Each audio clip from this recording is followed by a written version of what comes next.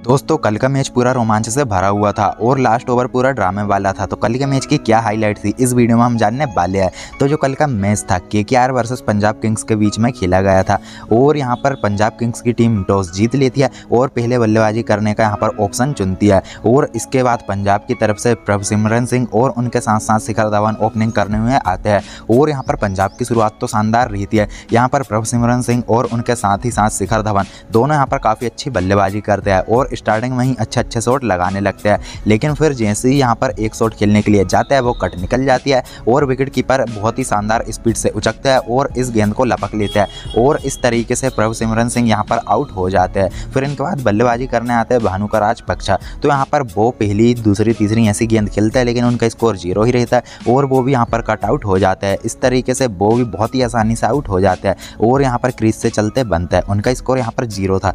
फिर इसके बाद बल्लेबाजी करने आता है लियाम लिविंगस्टन और इनकी तरफ़ से आते से ही हमें कुछ अच्छे शॉट मिलते ये यहाँ पर आते से ही दो चार बाउंड्री तो मारते हैं, लेकिन फिर बाउंड्री मारते मारते ये एक शॉट खेलने के लिए जाते हैं, जो कि इनके पेट पर लग जाती है, और यहाँ पर ये रिव्यू ले लेते क्योंकि एम्पायर आउट दे देते हैं। तो रिव्यू लेने के बाद भी यहाँ पर आउट बताए जाते हैं, और जो विकेट्स है वो अंपायर को आ जाती है। तो इस तरीके से यहाँ पर लियाम जो लिविस्टिंग है, वो यहाँ पर आउट हो जाते हैं केवल पंद्रह रनों के स्कोर पर। फिर इनके बाद बल्लेबाजी करने आते हैं जितेश शर्मा, जो कि पिछले मैचों में कुछ अच्छे फॉर्म में चल रहा है, और यहाँ पर शिखर धवन भी अपने रंग में दिख रहे थे। यहाँ पर एक तरफ़ से विकेट गिर रहे थे, लेकिन शिखर धवन ने एक तरफ़ से छोर संभाले हुए थे और यहाँ पर पंजाब की रन गति को धीरे नहीं होने दे रहे थे और लगातार अच्छा स्कोर कर रहे थे और जितेश शर्मा भी कुछ अच्छे रंग दिखा रहे थे और उनकी तरफ़ से भी हमें अच्छे अच्छे शॉट देखने के लिए मिल रहे थे। यहाँ पर अच्छी पारी चली रही होती है कि जितेश शर्मा कट आउट हो जाते हैं और विकेट कीपर यहाँ पर कोई भी गलती नहीं करते। तो इस तरीके से जो जितेश शर्मा इक्कीस रनों के स्कोर पर चलते बनते हैं, फिर इनके बाद बल्लेबाजी करने आता है सेम करन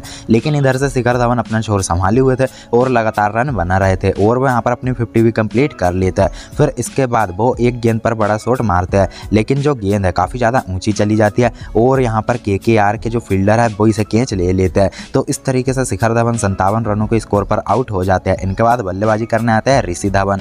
तो ऋषि धवन भी आते से कुछ अच्छे शॉट मारते हैं और यहाँ पर उनकी तरफ़ से भी हमें अच्छे अच्छे शॉट देखने के लिए मिल जाते हैं। और सेम करण, ऋषि धवन दोनों यहाँ पर पारी को संभाले हुए थे और काफ़ी अच्छे अच्छे शॉट हमें इनकी तरफ़ से देखने के लिए मिल रहे थे, लेकिन ऋषि धवन भी यहाँ पर स्टंप आउट हो जाता है। एक शॉट खेलने के लिए जाते हैं, लेकिन मिस हो जाता है। इस तरीके से उन्नीस रनों के स्कोर पर ऋषि धवन चलते बनते हैं। फिर इनके बाद शाहरुख खान यहाँ पर बल्लेबाजी करने के लिए आता है, और यहाँ पर सेम करण भी एक बड़ा शॉट खेलने के लिए जाता है, जो कि गेंद काफ़ी ज़्यादा ऊँची चली जाती है, और विकेट कीपर इस गेंद को कैच कर लेता है, और इस तरीके से यहाँ पर ये बल्लेबाजी भी आउट हो जाते हैं केवल चार रनों के स्कोर पर। फिर इसके बाद बल्लेबाजी करने आते हैं हरप्रीत बरार। तो यहाँ पर ये जब आते हैं तो शाहरुख खान अच्छी बल्लेबाजी कर रहे होते हैं, और उनके तरफ़ से हमें अच्छे अच्छे हिट देखने के लिए मिल जाता है। यहाँ पर बरार और शाहरुख खान ने दोनों ने अपनी पारी को संभाले हुए थे और पंजाब के स्कोर को लगातार आगे बढ़ा रहे थे। और यहाँ पर दोनों बल्लेबाजों ने रन गति को कम नहीं होने दिया और लगातार शॉट खेलते रहे और उनकी पारी की मदद से पंजाब एक बड़े स्कोर की तरफ़ बढ़ रही थी। और यहाँ पर लास्ट ओवर में पंजाब के लिए बहुत ही अच्छी खुशखबरी थी क्योंकि इस ओवर में उनके लिए बहुत ही अच्छे रन आए थे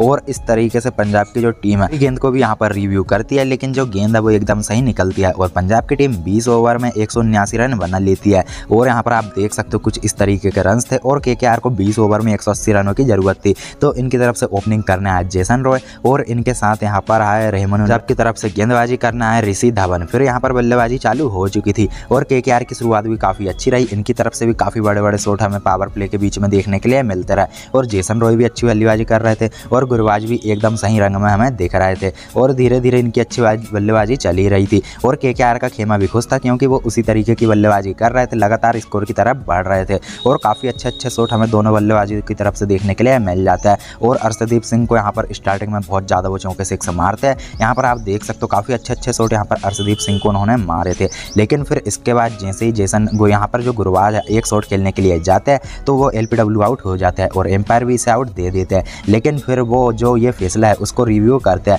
लेकिन रिव्यू के बाद भी देखा जाता है कि जो गेंद थी, एकदम सीधी सीधी जा रही थी। यहाँ पर तीनों लाल लाल थे। तो इस तरीके से गुरबाज आउट हो जाता है और के को पहला झटका लग जाता है। गुरबाज ने अपनी पारी में पंद्रह रनों की पारी खेली थी, फिर इसके बाद बल्लेबाजी करने आता है नीतीश राणा। तो नीतीश राणा तो काफ़ी समय से अच्छे फॉर्म में चल रहे थे और आते से ही वो अपने रंग में दिख रहे थे। वो काफ़ी बड़े बड़े शॉट यहाँ पर लगा रहे थे। किसी भी गेंदबाज को वो यहाँ पर नहीं छोड़ रहे थे। सभी को यहाँ पर अच्छे अच्छे शॉट मार रहे थे और इधर से जेसन रॉय भी अच्छी बल्लेबाजी कर रहे थे। वो भी लगातार अपनी टीम के स्कोर को आगे बढ़ा रहे थे। लेकिन फिर इसके बाद वो जैसे ही एक बड़ा शॉट खेलते हैं, यहाँ पर गेंद ऊँची चली जाती है और पंजाब के फील्डर इस गेंद को कैच कर लेता है। इस तरीके से जेसन रॉय अड़तीस रनों की अपनी पारी को खेलते और चलते बनते हैं। इसके बाद आता है वेंकटेश अय्यर। तो यहाँ पर वेंकटेश अय्यर और नीतीश राणा दोनों अच्छी पारी यहाँ पर खेल रहे होते हैं। यहाँ पर दोनों बल्लेबाज हमें अच्छे रंग में दिख रहे थे। वेंकटेश अय्यर भी अच्छे फॉर्म में दिख रहे थे और नीतीश राणा भी अच्छे फॉर्म में दिख रहे थे और लगातार ये के के स्कोर को आगे बढ़ा रहे थे। लेकिन इतने में ही यहाँ पर वेंकटेश अय्यर एक बड़ा शॉट खेलने के लिए देखता है, जो कि गेंद काफ़ी ज़्यादा ऊँची चली जाती है। इस गेंद को गुगली कर देता है और गेंद ऊँची चली जाती है और पीछे फील्डर रहता है और वो इसे काफ़ी आसानी से लपक लेता है। तो इस तरीके से वेंकटेश अय्यर ग्यारह रनों के स्कोर पर यहाँ पर चलते बनता है। उनके बाद आता है आंद्रे रसेल, जो कि पिछले कुछ समय से फॉर्म में नहीं चल रहे थे, लेकिन आते से वो भी अच्छे शॉट हमें दिखा नहीं पा रहे थे, लेकिन फिर भी उन्हें अच्छे रन यहाँ पर मिल रहे थे। और नीतीश राणा ने भी यहाँ पर अपनी फिफ्टी कंप्लीट कर ली थी। एक छोर को वो संभाले हुए थे और उनका खेमा भी काफ़ी ज़्यादा खुश था। लेकिन वो एक बड़ा शॉट मारने के लिए जाते ही है कि वो अल्टी पल्टी मारते हैं, लेकिन वो इस गेंद को टाइम नहीं कर पाते और गेंद काफ़ी ज़्यादा ऊँची चली जाती है और इस गेंद को पंजाब के फील्डर काफ़ी अच्छे तरीके से लपक लेते हैं। और यहाँ पर जो बल्लेबाज रहता है वो काफ़ी आसानी से आउट हो जाता है। और नीतीश राणा इक्यावन रनों की फारी खेलकर इसके बाद चलते बनते हैं। फिर आता है रिंकू सिंह, जो कि के के लिए बहुत ही अच्छी बल्लेबाजी कर रहे थे कुछ समय से। अब यहाँ पर के को बाईस गेंदों पर छियालीस रनों की ज़रूरत थी और रिंकू सिंह आते से ही एक सिक्स मार देते हैं। और आंध्र रसेल की तरफ़ से भी हमें अच्छी पारी देखने के लिए मिल रही थी। वो भी लगातार शॉट मार रहे थे और रिंकू सिंह भी दोनों शॉट मार रहे थे। दोनों बल्लेबाज इस सीज़न में काफ़ी खतरनाक है और यहाँ पर रिंकू तो फॉर्म में चल रहे थे, लेकिन रसल है जो इस गेम में भी फॉर्म में आ गए थे। और काफ़ी अच्छे अच्छे शॉट हमें उनकी तरफ़ से देखने के लिए मिल रहे थे। अब यहाँ पर नौ गेंदों पर तेरह रनों की ज़रूरत रहती है और इसके बाद जो रसल है वो काफ़ी अच्छे अच्छे शॉट मारते हैं। अब आठ गेंदों पर भी तेरह रनों की ज़रूरत रहती है तो रसल यहाँ पर एक सिक्स मार देते हैं। अभी सात गेंदों पर सात रन की ज़रूरत यहाँ पर रहती है और रसल भी अच्छी बल्लेबाजी कर रहे थे। फिर यहाँ पर बसता है आखिरी ओवर छः गेंदों पर छः रन की ज़रूरत रहती है। तो पहली गेंद तो अर्षदीप सिंह बाउंसर डाल देते हैं, जिस पर किसी भी तरीके की वाइड नहीं दी जाती। इसके बाद दूसरी गेंद वो फेंकते हैं, जिस पर रसल एक शॉट मारता है और इस गेंद पर एक रन ले लिया जाता है। फिर इसके बाद बारी रहती है तीसरी गेंद की। लेकिन इस गेंद पर एक ही रन था, तीसरी गेंद पर भी एक ही रन ले लिया जाता है। फिर आती है चौथी गेंद। तो यहाँ पर तीन गेंदों पर अब चार रनों की ज़रूरत थी। तो यहाँ पर अर्षदीप सिंह इस गेंद को फेंकते हैं। यहाँ पर रसल एक बड़ा शॉट मारता है, जो कि वेट पर तो अच्छे से कनेक्ट होती है, लेकिन ज़्यादा दूर नहीं जा पाती। और इस गेंद पर रसल दो रन दौड़ जाते हैं। और इस तरीके से अब दो गेंदों पर दो रनों की ज़रूरत थी। अब पाँचवीं गेंद पर रसल यहाँ पर शॉट मारने के लिए जाते हैं, लेकिन वो इस गेंद को खाली खा जाते हैं और इस गेंद पर वो रन आउट हो जाते हैं। तो पाँचवीं गेंद पर किसी भी तरीके का रन नहीं जाता। अब यहाँ पर रसल यहाँ पर आउट हो जाते हैं बयालीस रनों की पारी खेल कर को जीत के लिए एक गेंद पर दो रन की ज़रूरत थी और यहाँ पर रिंकू सिंह पीछे हटकर एक शॉट मारते हैं, जो कि गेंद बाउंड्री लाइन के बाहर चली जाती है और इस आखिरी गेंद पर चार चला जाता है और इस तरीके से रिंकू सिंह आखिरी गेंद पर के को जीत दिला देते हैं। यहाँ पर रिंकू सिंह का फॉर्म इस बार काफ़ी खतरनाक रहा और उन्होंने के को काफ़ी ऐसे मैच जिताए जिस पर के हारते हुए दिख रहा था और इस मैच को भी उन्होंने अपनी झोली में डाली।